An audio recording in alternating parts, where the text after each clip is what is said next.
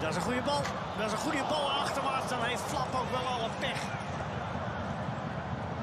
Want hij doet hier eh, eigenlijk alles goed. En dan is hij toch binnen.